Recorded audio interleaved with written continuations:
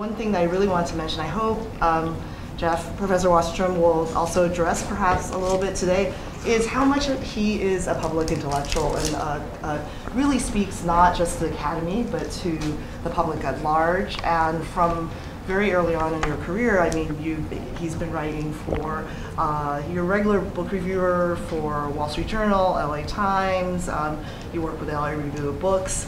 Um, um, and you and that's something I've really admired. I think you're one of the early, really China blog people, right? The China Beat, which we all used to read religiously, and um, as and with books like this and Eight Juxtapositions, a slender penguin book that I highly recommend. I really enjoyed, and um, you know, I think one thing that's been really wonderful is how you've reached out and you know to a larger audience to really talk about demystify, you know, this kind of mysterious, you know, this China, uh, you know uh, you know, the exotic China problem that I feel like often exists within mainstream media. And so I think with more people like Professor Wasserstrom, you know, having a voice in the public sphere, it's you know, it's good for all of us. And so one of the things you know we're really delighted to have you here talk about is really as a scholar, how do you tell stories yeah. to the public?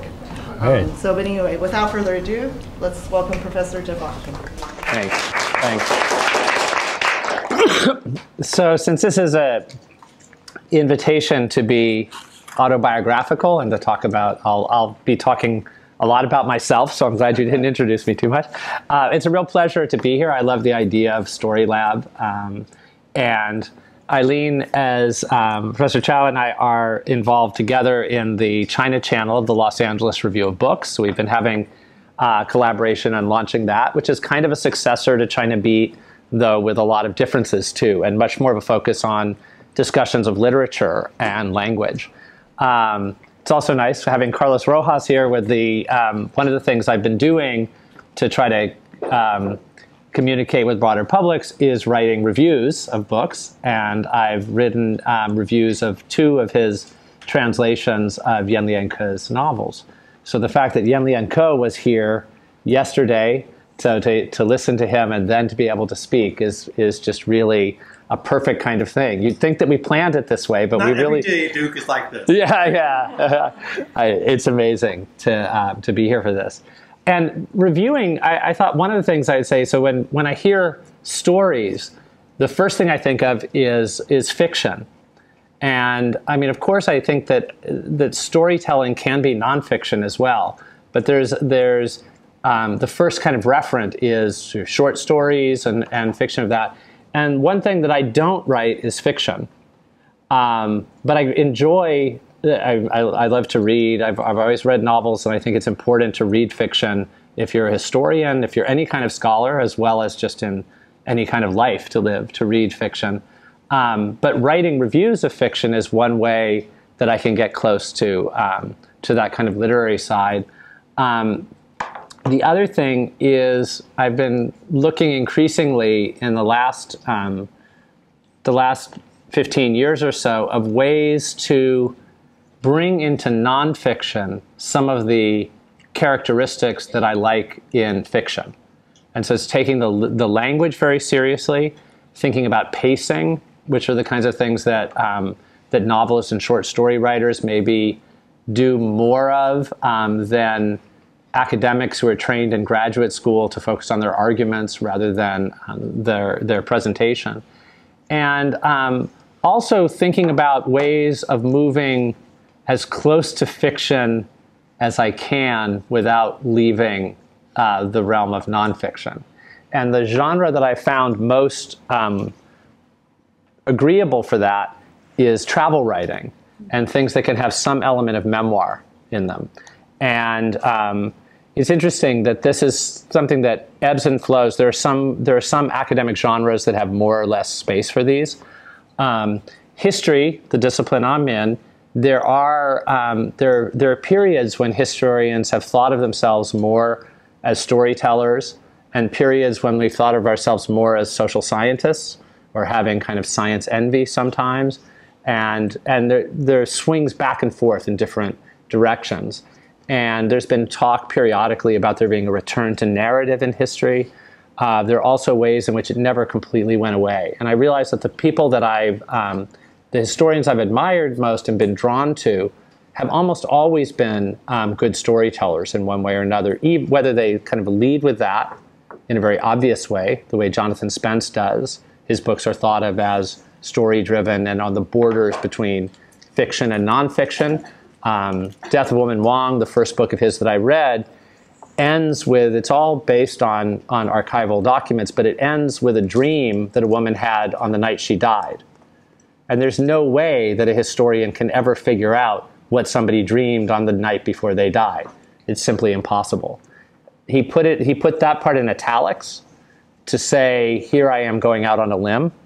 He had footnotes to that section in which he drew largely on short stories that were published around the same time and in the same place where the woman had lived, and he mixed elements from her life with that, but it was still it was going far out on a limb.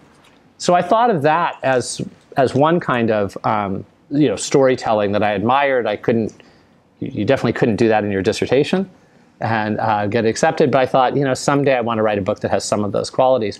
But I also realized over time that there were totally different kinds of historical works that weren't as kind of obviously um, literary or as obviously veering toward toward fiction, but were just beautifully written and very attentive to language. Um, E.P. Thompson's The Making of the English Working Class, which is one of the great books of labor history, and is remembered by a lot of people because of its arguments, actually includes a lot of poetry um, from from activism and from um, and also is just presented in a very kind of evocative set of language. So those are the things I've been um, trying to think about more in um, in the writing I've been doing, and when I get a chance to, I've been trying to do a little bit more of this in um, the teaching that I've been doing as well. Um, occasionally teaching courses in history, uh, undergrad and, and graduate, that are in part about how to write about the past as much as trying to figure out what happened in, in the past. So I thought I would um, give a, a flavor of some of these things by um, by talking about the most recent piece I've written about a um, a subject that I keep returning to, and the subject I keep returning to is student protest. And to go into a little bit of um, autobiography, it's something that has interested me from the time I was a, a little kid. And the reason was that I grew up in um, in LA in a family that was um, the, the, my parents were critics of the Vietnam War and they were involved in the civil rights movement to some extent. So one thing they did with us as family outings was to go to protests. And um, occasionally there would be, this is another recurring theme here, there would be music that we would go to hear as well as to march. And there was probably a time when I was, you know, six or seven when it was as important that Joan Baez was singing that as it was what the protest was. So there was a moment, and I, I didn't think about it. I mean, I thought about it, but I had no idea it would have anything to do with my um, later career path.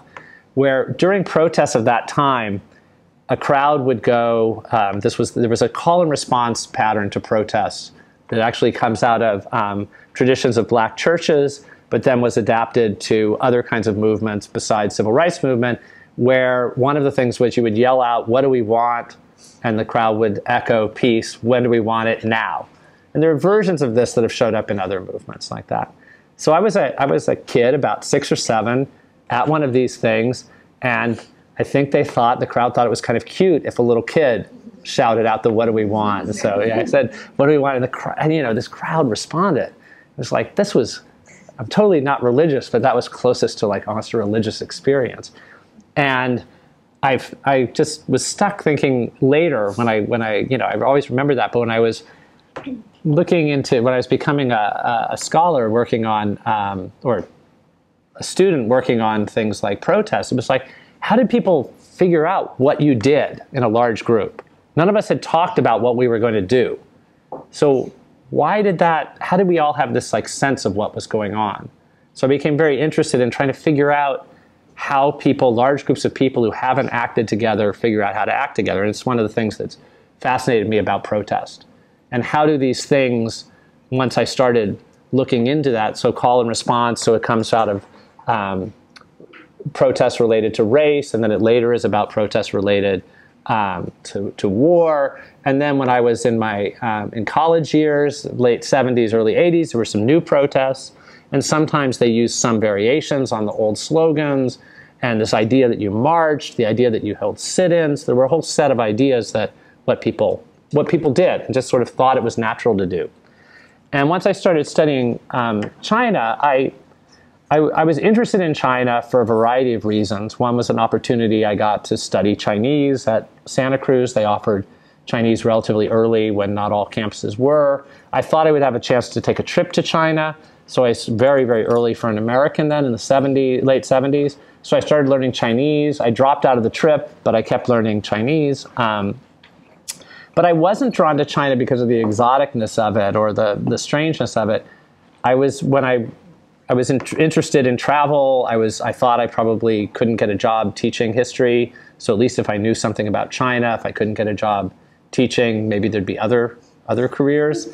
Um, kind of pragmatic, although at that, in the 80s, when I did that, people said, you really should study Japan.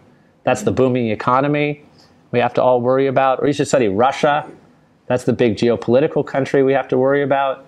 My wife likes to say now I get the best, I get the last laugh because China is Japan plus Russia. You know? um, but I wasn't interested in it so much the exotic. It was very pragmatic. But I did like Chinese food, and I knew if you studied a place, you had to go eat a lot of the food there. I knew I wanted to go to China at some point. But I also was interested in this question of protest and how, how people figure out what to do. And a lot of the work on protests had been done about Western settings, so I thought it would be interesting to try to ask, well, what about China? And then what really interested me about the Chinese case as I went to China and was starting to, to research this in the 80s was that student protests were so important. And that when students protested in the teens, 20s, 30s, and 40s in China, members of other social groups, workers, and others would join them on the streets. And the movements that began on campuses would become these cross-class um, massive events that, that would make governments quake.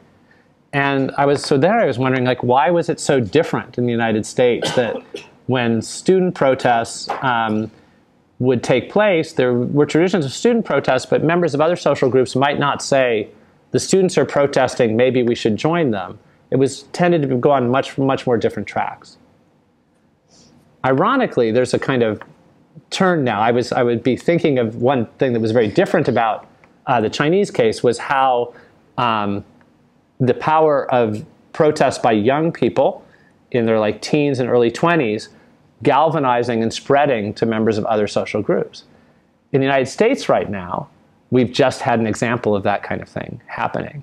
And I'll talk a little bit more about the, the, the youth protests in the United States um, later, but I'll say that the youth protests that just took place. They were in DC, and I happened to be there for an academic conference.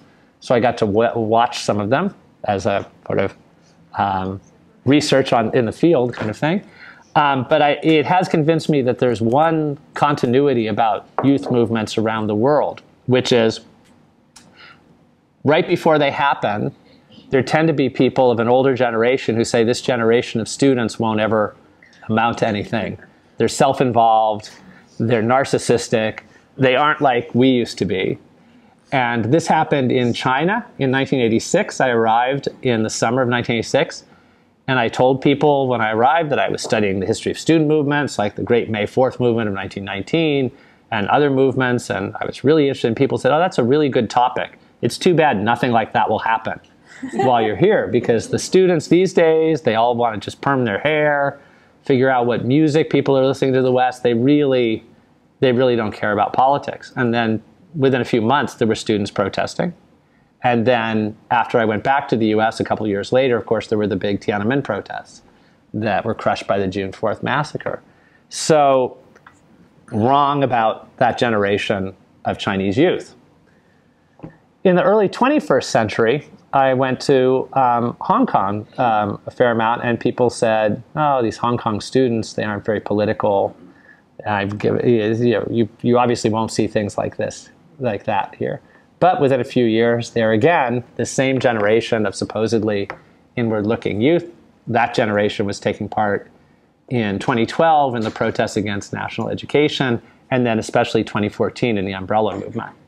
So there tends to be this pattern of underestimating youth. And just before the, the recent um, anti gun violence protests, if you asked people in America, what is this generation like? You'd have a lot of people, they all spend all their time looking at their smartphones and um, doing other kinds of shallow pursuits. Not, and we've been proven wrong again. So I've been interested in student movements and youth protest um, for a long time, and it occasionally intersects with my life of happening to be in China in 1986 when there were these sort of warm-up protests uh, for Tiananmen. I wasn't in China for Tiananmen.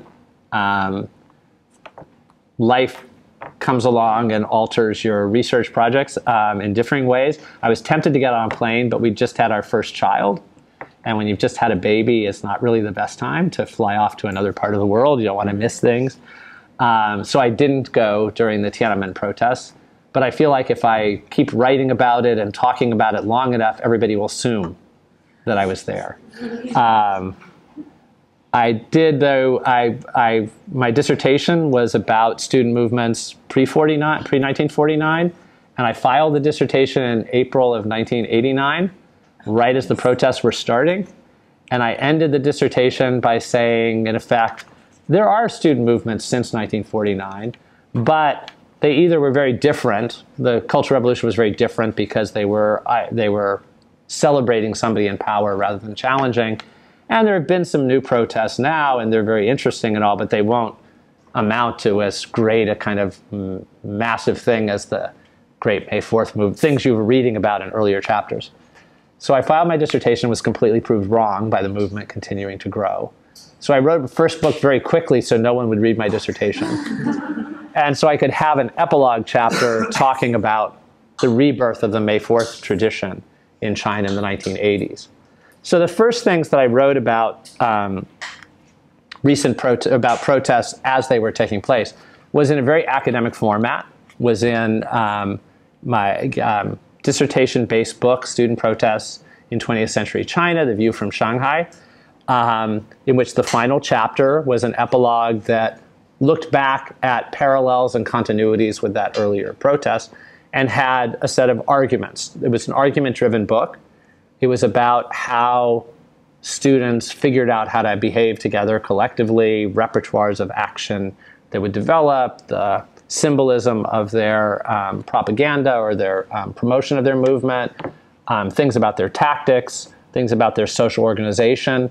It was in pretty much more of a um, social scientific kind of historical mode than a storytelling mode. And then I've returned to um, I've returned to the theme of protest in other places in um, China in the 21st century. What everyone needs to know: the um, first edition of it came out in 2010, and there was a lot about the Tiananmen um, movement and memory of it. There were also, even though it's about the 21st century, the book has a lot about things before the 21st century, the idea that you need to be able to understand the past, to understand uh, what's happening in the present. So it goes back to Confucius. Who was Confucius? What he believed? Was he always admired? When was he criticized? The May 4th movement, it has a little bit about that. It has um, things about Tiananmen. Um, in the new edition, the second edition came out in 2013, and it was revised just a little the new edition, um, co-authored with with Maura Cunningham, like the second edition was, um, we had to bring in all sorts of things that happened since 2013, and one of the main things we brought in was the umbrella movement. In this book, it's also not a story-driven book in a sense. It's trying, though, unlike unlike my first book, which was really for other academics, this one is aimed at ordinary people, readers. It's the kind of book we like to say that people can read on their first trip to China and they can read it from cover to cover on the plane and watch a movie. And we, we try to get information across. And we try to dispel some misunderstandings. So the focus is still not on storytelling, it's more on um, correcting information and giving people a way to think about things. And with Tiananmen, we try to correct a lot of um, misunderstandings. As we, we criticize the Chinese government's um, big lie about it, claiming that there wasn't a, a massacre. Um, but we also try to clean up some of the misconceptions that um, Westerners have about the movement, which has largely been in memory. The movement has largely been reduced to an image of a man standing in front of a tank and an image of students being killed in Tiananmen Square, when in fact, most or all people were killed near the square but not in the square, and many of them were not students. A lot of them were members or ordinary um, Beijingers. We don't know exact figures, but um, probably significantly fewer than half of the people killed were students, even though the memory of them um, loom, loom largest. So um, then, for occasionally moves into storytelling, just another part of um, in the in the 1990s and beyond. After my first book was out, um, and even more so after I got tenure, I started feeling freer and wanting to do a different kind of writing that was um, aimed at engaging um, people who weren't in the academy, and I and sometimes trying to write in a very kind of factual way of correcting misunderstandings and things, but also sometimes trying to experiment with some first person. And so one of the first person pieces I did um, was I happened to be in China in 1999 when there were anti-NATO protests after um, NATO bombs hit the Chinese embassy in Belgrade, killing three, um, three Chinese citizens. And there were um, nationalistic protests that I was convinced were both genuine sentiments of students who were angry at their fellow their compatriots being being killed in a um, in an embassy, but also supported by or allowed to happen by the government, which tried to leap ahead and guide the um, guide the the course of them. But I wrote a piece when I got back of a kind of um, effort to talk about what it was like to be there, to be someplace where something like what you've studied is happening, and to be there and have the experience not always jibe with what was being reported in the press and also things that were left out of the story I thought all along, including the fact that I was in Beijing for a few days of protest, then I was in Shanghai for a few days of protest, and the, pro the protests were very different and the moods were very different in the two places. In Beijing, it was closer to the time, and there was also more intensity to the, the protests. And I had this moment when somebody said to a group, there were a few of us who were um, from the West who happened to be there for a conference about the May 4th movement. So we were at a conference about the history of student protests at the time a new protest happened. Uh, but in Beijing, there was a much more intense feel to it. And when I got to, sh- and I pretended I wasn't American. I said, I was first learned how to say, Iran. So I'm from Canada. And then somebody pointed out, I didn't really know my politics well. Canada is part of NATO. So I had to relearn Ran because Australia was okay. Um, but then when I got to Shanghai, I thought, I felt like more, more relaxed, I spent I've spent more time. People didn't seem as as intense about this. So I just started saying I was American, and I mentioned that when I was in Beijing, I pretended I wasn't American. And some of the Shanghainese said, "Yeah, in Beijing, they're like they're like really too intense about everything." And they, they immediately, this was during a, a patriotic nationalist movement, and they immediately started dissing people from the other city, which I thought was so natural, but was so left out of a lot of the coverage in the Western media was these drone-like Chinese youth who are all saying exactly what the government says and are all totally nationalistic. I said, no, they're actually more complicated than that, that they're doing this out of their own sentiments. And also I felt sure if I'd gone from Shanghai to Beijing, and I said, oh, I feel a little more nervous in Beijing, some people said, yeah, well, in Shanghai, they really don't care about stuff. and so, you know, even in the heart of this movement, in terms of de, uh, getting out of the stereotypes of, of exotic China, one of the stereotypes is that obviously is a stereotype that all Chinese are alike, when if you spend time in different parts of China, you realize very differently that even when people are very nationalistic or very patriotic, they're also very intensely proud of their region and their place and their locale. And that's human nature, and it's also part of you know cultural differences, foods different, dialects different, all that. But that was something I thought was missing in the um, thing. So I wrote about that, and I had dreams of pulling together. Uh, I thought this was going to be a breakthrough piece. I sent it to Rolling Stone magazine, who rejected it.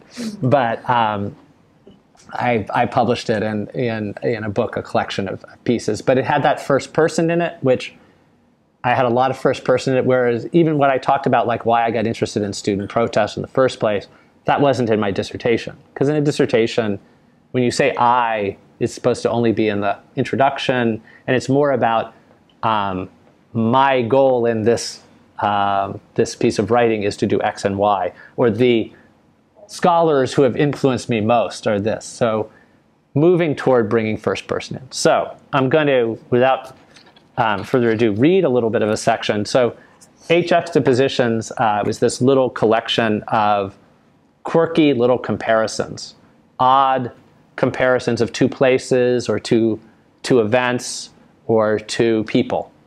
And I wrote some of these. These were some of the more playful pieces I wrote that had kind of arguments. Some of them are first person, and they were brought together into this little booklet. And um, it's done okay. So they're going to put out a new edition. And um, they said, so would I want to write something new for it?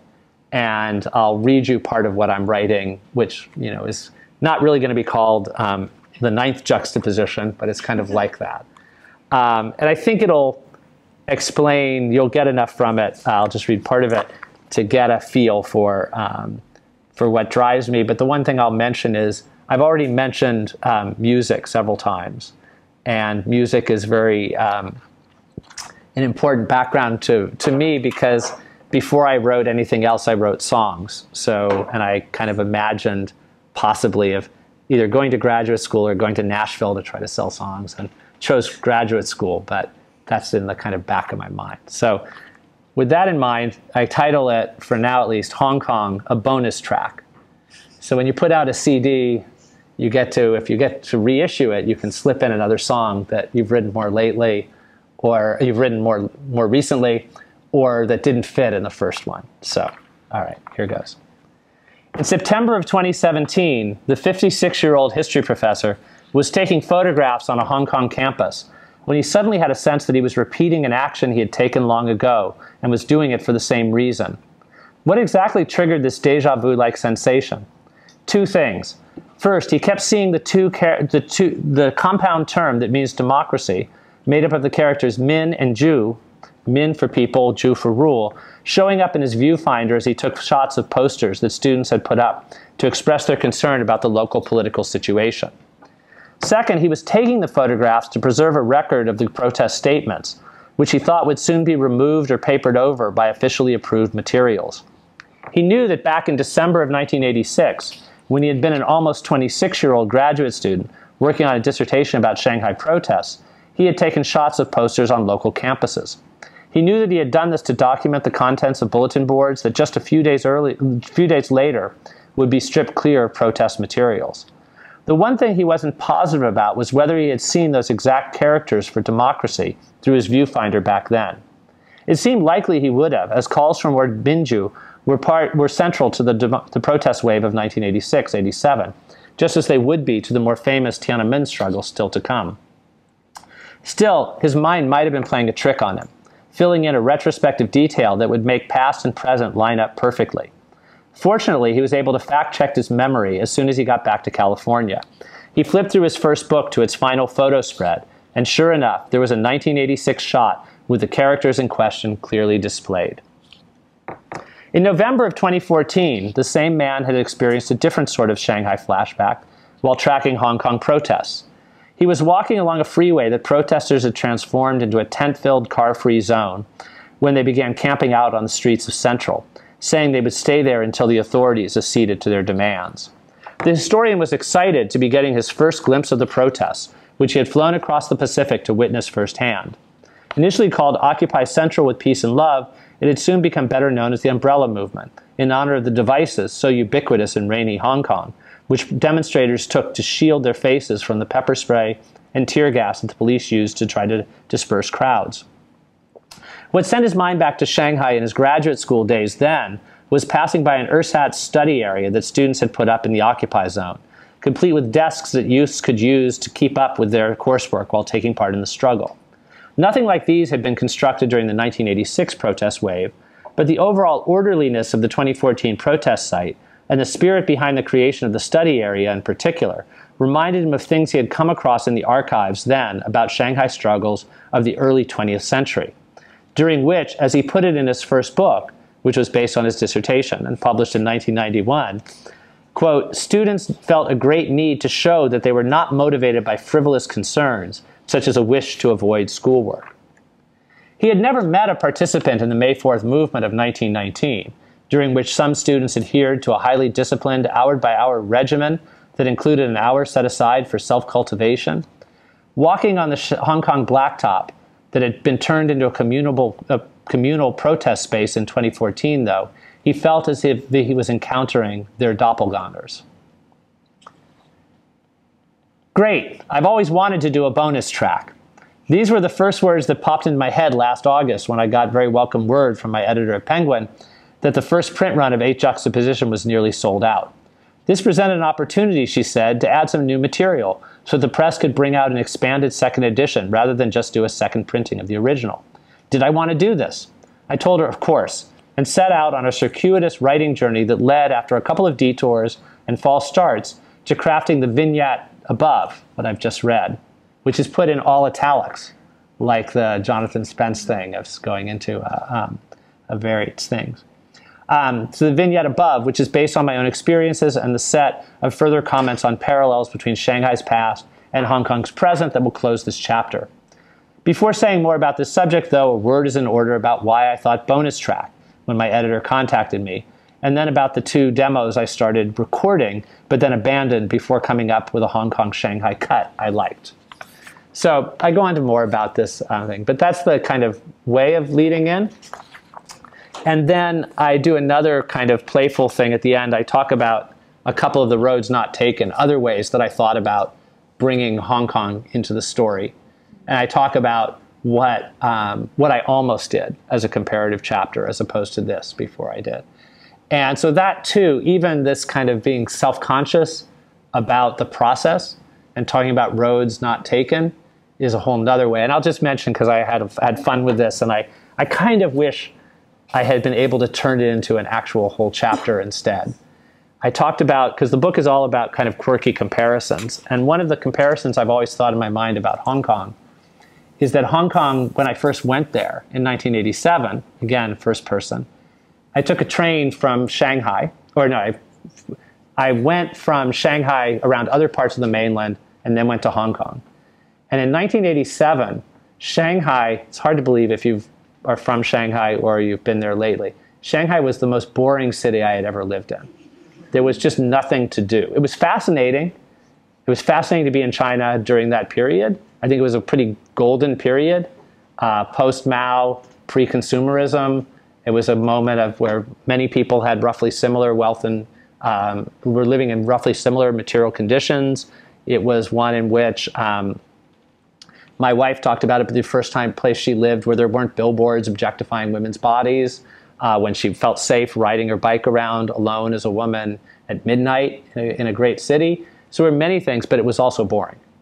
Hong Kong, on the other hand, was really exciting. Shanghai, there was only one Hollywood movie that played there the whole year, first year. I was living there, and it was Superman, which I'd already seen. So it was really, really dull. Uh, Hong Kong, on the other hand, there were you know movie theaters, department stores, restaurants, all kinds. Shanghai had about five restaurants. You know, anyway, it's just unimaginable.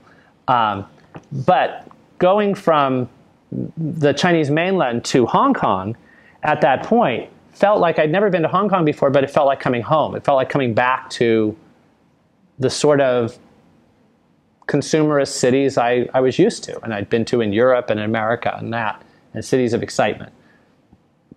Then um, went back to Shanghai for a while, and then took the Trans-Siberian Railway and went to um, across Russia and ended up in Berlin.